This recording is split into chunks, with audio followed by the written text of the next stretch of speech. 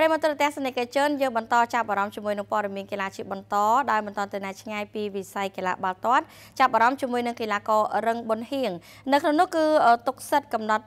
ក្លឹបថ្មីจะឲ្យក្រសួងការពារជាតិអ្នកសម្រេច បន្ទាប់ពីត្រូវក្លឹបបាល់ទាត់ក្រសួងការពារជាតិប្រកាសអំពីការចាកចេញខ្សែប្រយុទ្ធជំរឿជាតិកម្ពុជារឹងប៊ុនហៀងបានឲ្យដឹងថាខ្លួនមិនទាន់ដឹងច្បាស់ពីអនាគតក្លឹបនោះទេត្បិតរូបគេទុកសិតឲ្យថ្នាក់ដឹកនាំក្លឹបក្រសួងការពារជាតិគឺជាអ្នកដែលសម្រេចទៅវិញ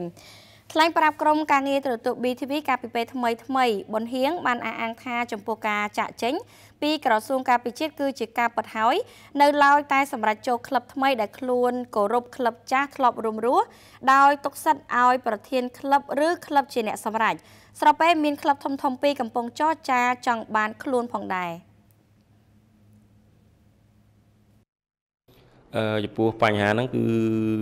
ចំពោះខ្លួនខ្ញុំគឺ ខ្ញុំដឹងតែធៀមថាសម្រាប់ចាក់ចេញហើយតែសំខាន់យើងរស់នៅក្នុងក្លឹបចាស់អញ្ចឹងយើងសម្រេចឲ្យទៅលើក្លឹបប្រធានក្លឹបឬមួយក៏ក្លឹបគាត់ជាអ្នកសម្រេចថាឲ្យយើងទៅណាព្រោះឥឡូវមានក្លឹបពីរធំធំដែលតាក់ទងមកព្រោះពីរក្លឹបខ្ញុំអត់អាចនិយាយបានព្រោះខ្លាច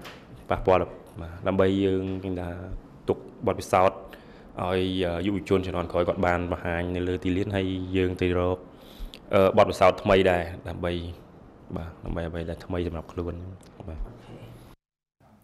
ចាគូបញ្ជាក់ដែរថាគិតមកដល់នឹងពេលនេះក្រសួងការពិជាតិគឺបានចែកផ្លូវជាមួយនឹងកីឡាករខ្មែរដែលជាកម្លាំងស្នូលដ៏សំខាន់ចំនួន4រូបហើយចារួមមានកីឡាករឈិនឈឿនច្រឹងពលរដ្ឋរឹងប៊ុនហៀងនិងអ្នកចាំទីអ៊ំវិចិត្រចំពោះរឹងប៊ុនហៀងបានបញ្ជាក់ហើយថាការចាក់ចេញនេះគឺខ្លួនចង់បានបទពិសោធន៍នឹងការប្រកួតប្រជែងថ្មីលើពីនេះរូបគេក៏ចង់ផ្ដល់ឱកាសទៅដល់សិស្សប្អូននៅក្នុងការបង្ហាញសមត្ថភាពជាមួយនឹងក្រសួងការពិជាតិក្រោយការចាក់ចេញនេះផងដែរ។